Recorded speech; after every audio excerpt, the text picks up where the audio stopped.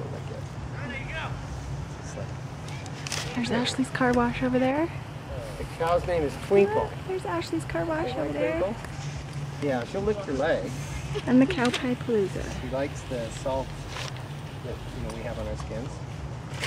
They have names on every piece of paper down there, and wherever the cow poops, that person wins $200.